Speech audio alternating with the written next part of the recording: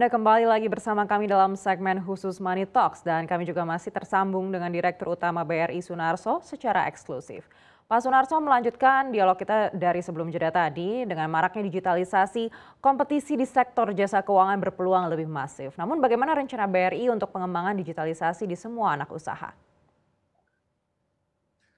Ya, pertama memang um, BRI Group sedang melakukan transformasi ya sebenarnya transformasi kita blueprintnya kita buat tahun 2016 waktu itu transformasi kita kita kasih nama Revolution Revolution 1.0 dan kemudian yang kita transform adalah di dua area digital dan culture.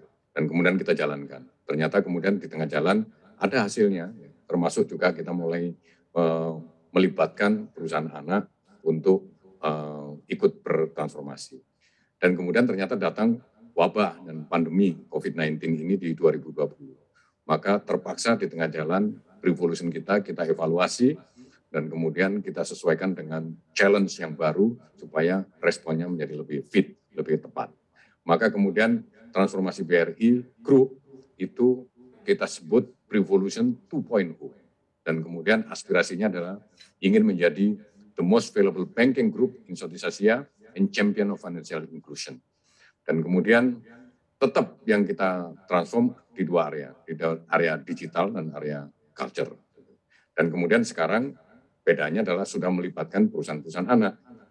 Dan perusahaan anak di BRI, termasuk yang baru dua lagi yang bergabung yaitu Pegadaian dan PNM, itu memang kita arahkan untuk berkontribusi dalam hal bisa menjadi uh, untuk uh, income diversification, jadi diversifikasi, diversifikasi income. Dan yang kedua adalah untuk spreading risk, supaya risikonya tidak tertumpuk di satu area tertentu. Dan kemudian juga yang ketiga adalah strengthen uh, customer base, untuk memperkuat customer base. Maka kemudian tidak bisa tidak digitalisasi, transformasi digital kita lakukan di semua perusahaan anak. Dan kemudian transformasi digital kita itu apa sebenarnya? Ada dua tujuan. Yang pertama adalah kita transform bisnis prosesnya supaya baik perusahaan induk maupun perusahaan anak mendapatkan proses yang lebih efisien dengan biaya yang lebih murah. Dan kemudian yang berikutnya yang kita digitalkan adalah digitalisasi bisnis model. Jadi kita harus create bisnis model baru untuk meng-create value baru, bukan sekedar efisiensi, tetapi create value baru. Sebagai contoh adalah Bank Agro yang kita ubah menjadi bank raya dan itu akan kita arahkan menjadi digital bank. Tetapi kemudian ngomong digital bank sekarang. Apakah digital bank ini apa namanya benar-benar sudah sedemikian real meng-create value? Saya bikin statement di sini. Sebenarnya digital bank belum real meng-create value. Karena apa? Karena nasabahnya itu belum fully digital juga.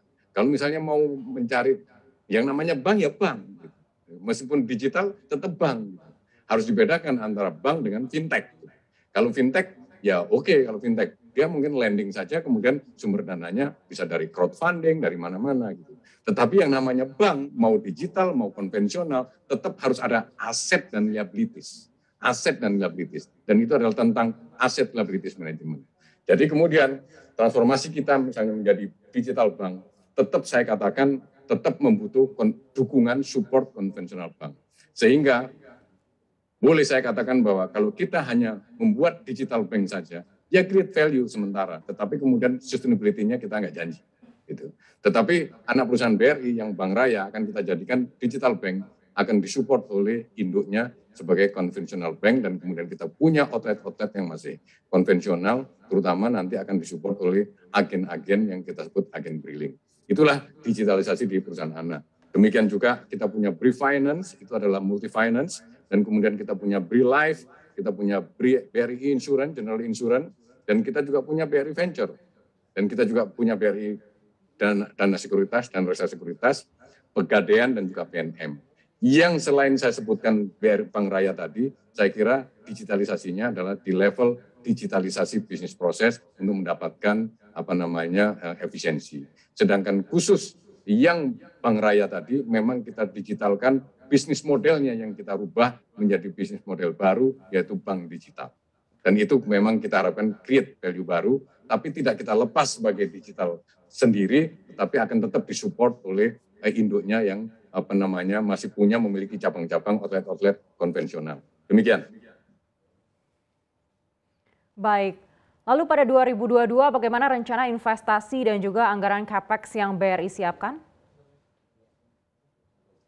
BRI menganggarkan capex sekitar 7 sampai 8 triliun rupiah setiap tahun dan kita sudah scrutinize dengan detail sekali bahwa 57 persen dari anggaran itu kita alokasikan untuk IT, untuk CAPEX yang berupa IT.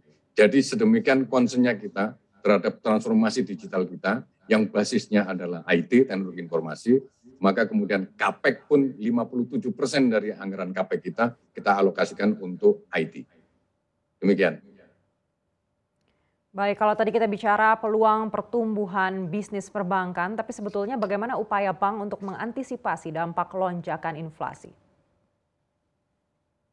Tadi kita sudah sampaikan ya, uh, inflasi ya sekarang inflasi yang melonjak tinggi seperti di Amerika gitu kan, inflasinya kan luar biasa kenaikannya. Gitu.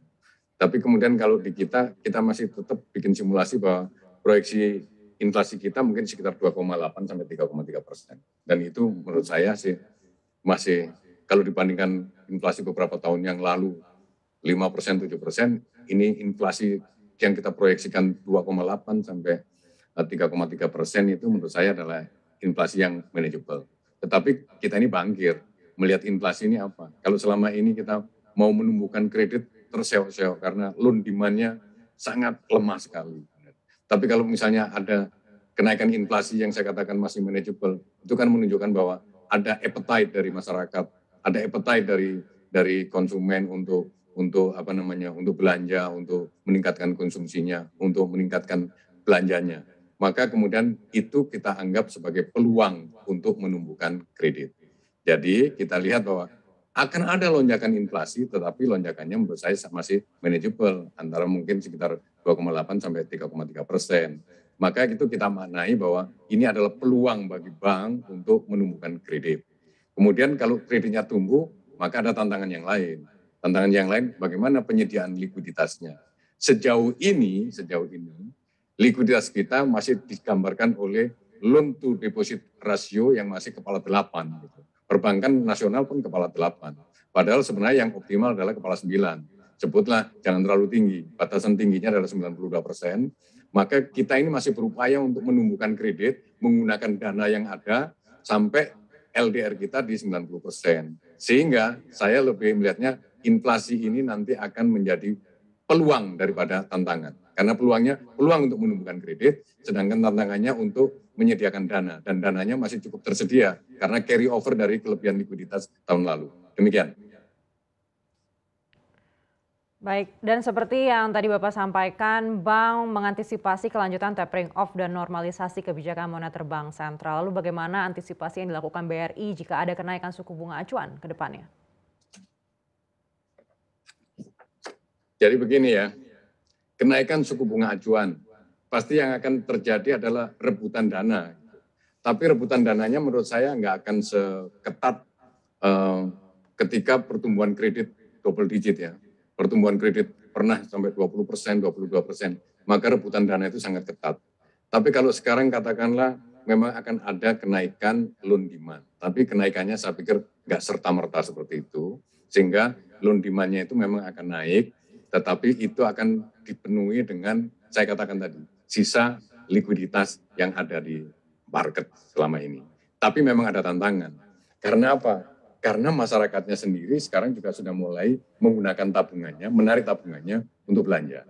Maka kemudian stok likuiditas yang ada di bank itu juga bisa jadi memang ditarik oleh nasabahnya untuk belanja.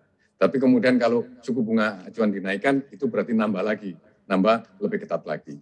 Tetapi karena loan demand menurut saya nggak akan melonjak sebegitu drastis, maka saya kira rasanya sih ya masih cukup aman lah, masih cukup aman menurut saya dan untuk untuk apa namanya mengantisipasi suku bunga. Tinggal sekarang masalahnya adalah bagaimana margin begitu. Kalau suku bunganya naik, kemungkinan kita masih bisa nggak menaikkan suku bunga kredit. Nah itu pertanyaannya itu ya sebenarnya yang, yang harus dijawab. Karena ini urusannya dengan margin sekarang, bukan urusan dengan likuiditas. Kalau suku bunganya naik, kira-kira apa namanya suku bunga acuan naik, maka kredit kita bisa dinaikkan nggak suku bunganya? Saya kira tantangannya ada di situ.